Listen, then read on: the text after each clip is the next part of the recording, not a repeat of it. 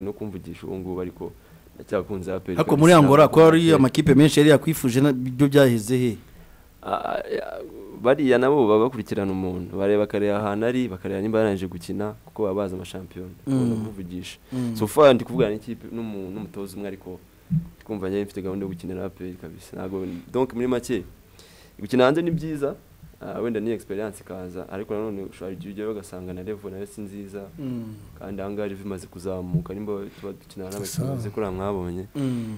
ugasanga ukurikiye wenda kuba uri hanze revo revo ikaba iri hasi rimwe na rimwe na sare ugasanga na yo ntabwo ingana nk'iyo bari kubona Eh, inaha hano ngo bakubye kangahe? Sidi ibintu erega Mm. hari ikintu kimwe abakinnyi burya kibagora.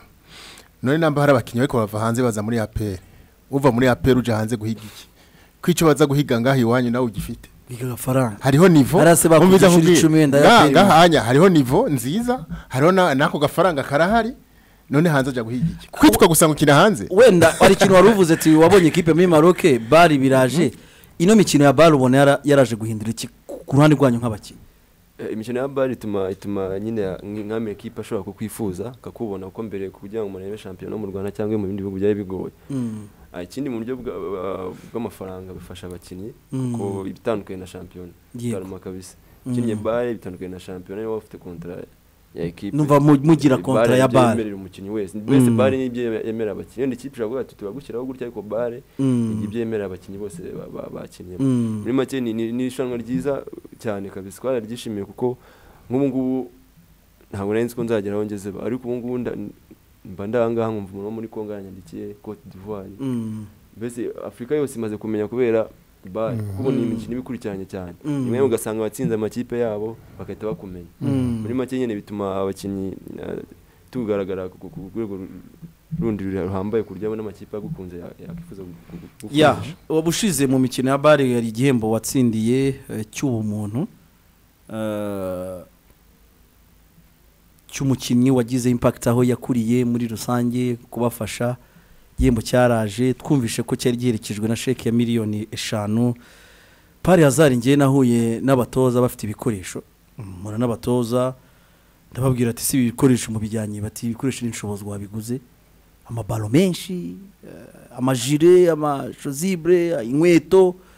Ngo waguriye abana bo kuri club rafiki. Nibyo ni wowe waguze muri icyo bihembo watsindiye? Yego ni byo Eh, twafashe ya nkunga turavuga ati reka dufashe abana batumye tunayitsindira wa mugani. Mm. Ah, byibuze abana abana ijana babonye inkweto. Abana ijana? Eh, wabaguriye inkweto? Mm, mw'iyo nkunga aba abandi ijana babona amasogisi. Amabaro yo twa- twasanye ntituyatanga igihe umwana ahita ajya mu ishuri ntayigarure cyangwa se undi Mm. akabagiza ibindi bintu batayigarura ku kibuga Mm. turavuga tuyagumishemo hano babandi biga bataha bajye bayakoresha n'abandi baza muri vakansi bayakoresha Mm. baguze amashozibure donc muri make abana byari ibintu byiza bare yakoze kabisa byibuze byatumye abana baza kuri rafiki Mm. babona inkweto n'ababyeyi n'ababyeyi bohereza abana gukina bati ok Mm. umwana ashobora gukina akaba yabona wenda n'ubwo bufasha bw'urukweto na byo ni byiza. Mhm. Desire iki bintu wakivuga iki? Ni ntabwo ibintu dukunze kubona abakinnyi bakora iki bintu nk'ibyo. Ni ibintu dukunze kubona muri Afrique de l'Ouest mu bakinnyi ba football. Bagenda bakubaka iwabo bakubaka ibitaro bakubaka amashuri. Ibyo mana akora iwabo ibyo bahita bakora iwabo. Bituma aba bana bacaruka bavuga bati reka nkore nzobe nka naka. Nzobe nka wa wundi ariko aradufasha. Nk'ubu nk'ubu nyisanga nk'hariya kuri rafiki. Usanga ari abana bita- bitashobozwa benshi. Eh, hariho n'abifuza kuzobashobozwa Mm. ni cyo gituma rero ari ikintu abari kuri Hmm? babirebe njye nahuye na nahuye n'aba batoza muri sportland. Eh mpura nabo SG baravuga ati uyu muterankunga avuye hera. Barambwira ati nishoboza Mm. kandi ngewe niba ndi icyo nabivugaho. Sh- dushimire shobozwa cyane. Ntabwo yategereje kubona amamiliyari muri miliyoni eshanu abonye. Mm. Akoze impact ku bushobozi. Eh uri kuratanga example za ba mane na ba eto bafite za miliyari bagatanga.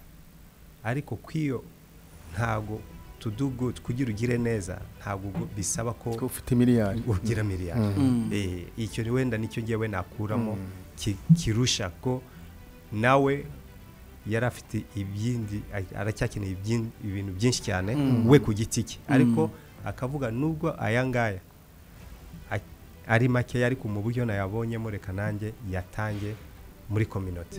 Icyo ni ikintu cyo kwishimira cyane. Ya ni ikintu cyiza cyane. Ujya ubona umwanya ugasubira kuri club rafiki wowe warerewe?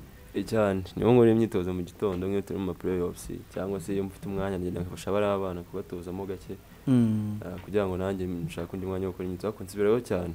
Mm. ubona impact bigira ari iyihe? Abana hariya ah, basket kiriya gice nk'uko nawe wakuze nabo baba bagenda mu nzira wanyuzemo. Eh, impact eh, irahari cyane. Abana babikunda hari n'ubwo ngerewe nyine ukabona Desire urazibona? Izi balo barabyishimiye kuba ndiyo. Mm. Ah, ah, ni ibintu byiza. Bibatera na motivation nabo babaye benshi abana basigaye bakunda basket. Mm. muri make ni ibintu byiza kandi ubona tugize ubushobozi tugakomeza tubafasha hazavamo abandi bakinnyi wenda bameze nkanjye cyangwa se banandusha urwego. Ibibuga biko biraboneka henshi mu makaritiye abavuka muri ayo makaritiye baza baratwara umwe atwara boro imwe undi atwara imwe. Usanga mu minsi mikeya basikete isigaye ifise nivo tutabona uno munsi. Ya kandi birimo biragaragara cyane. Bwana esiji reka tubashimire cyane eh, mu by'ukuri kuri uyu mwanya mwahaye bnb eh, mesaje ku bakunzi ba peri bari benshi bari bara hari umuntu wambwiye ati peri nari maze kwibagirwa muri ino mikino narayirakariye. Mesaje ku bakunzi b'ikipe ya peri next season birumvikana mara- ubu mwarangije shampiyona mesaje ni iyihe mesaje ni imwe mesaje ni uko ambisiyo twatangiranye turayifite kandi turakora ibishoboka byose kugira tuyigereho. Mesaje ni uko dukeneye sapoti yabo ntabwo twa- twabyikorana. Nubwo tu- ibyo twakora byose bazabibona. Bazabona ko hari icyakozwe hari impinduka yabaye impinduka bari ko barayibona ubu ngubu n'izindi ziri imbere baraza kuzibona icyo tubasaba ni uko natwe badushyigikira muri iyo porosesi izicuruzwa prime yarabonetse?